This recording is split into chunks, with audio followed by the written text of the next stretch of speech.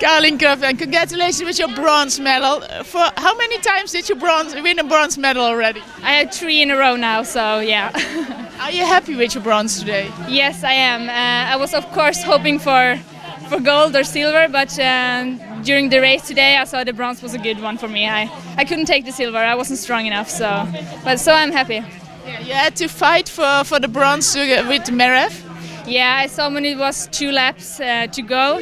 The speed was a bit down, so I have to go in the front to, to keep up the space. But uh, it was hard to to, uh, to be in the front, so the last lap was I was tired.